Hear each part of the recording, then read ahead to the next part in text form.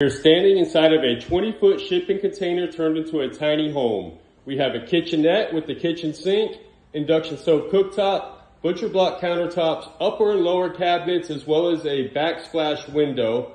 We have the mini split AC system. We have a coffee bar with upper and lower cabinets. We're going into the bathroom, which is separated by a pocket door. We have the toilet, vessel sink, lower cabinets, as well as the shower with the frameless glass shower door, the rain shower head, and the vinyl plank on the walls. 20 foot shipping container turned into a tiny home.